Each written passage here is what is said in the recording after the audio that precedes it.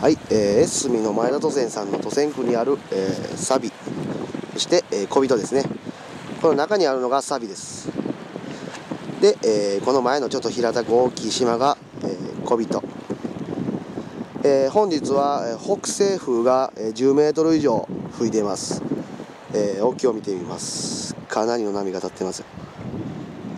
水平線のところに盛り上がるこの波、えー、沖はかなりの強風が吹いています。もう波が水平線で盛り上がっているのが分かるぐらいのかなり強烈な、え強風冬型の強風が入っています、えー、天気もですね、えー、見てもらっても分かる通り、え、沖の方では雨か雪かっていうような感じの雲模様と、えまあ、それが降ってますね、えそういった時でもこの前田渡船さんのところの渡船区にあるこのサビで小人、えもう見ても分かっても分かる通りにベタベタですね。今はちょっと、えー、満潮に差し掛かってますんで若干磯が低く見えますけども、えー、干潮時にはもうちょっと磯が出てきます。で、えー、今は吹かせずにでお客さんが乗られてるようですけども、えーけえー、皆さん、えー、1枚ずつでも釣られているようです。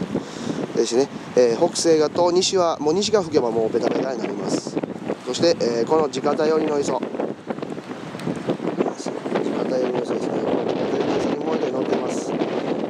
ずっともう上は崖っぷちなんで小さでもなかなかこれあの来づらい地図になりますけどもここら辺は荒れれば荒れるほど北西西風の方に出てきますそして、えー、結構、えー、船が釣れるそうです船頭さんから教えていただきましたで、えー、人数も結構乗れますし、えー、アオリイカなんかはもう北西風がもう全く来ないのでここは快適に釣りができます。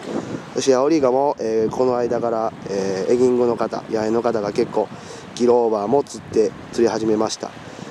えー、今日は上物お客さんばっかりですけども、えー、アオリイカで乗られたら結構、え、よく釣れますよ、え、おすすめです。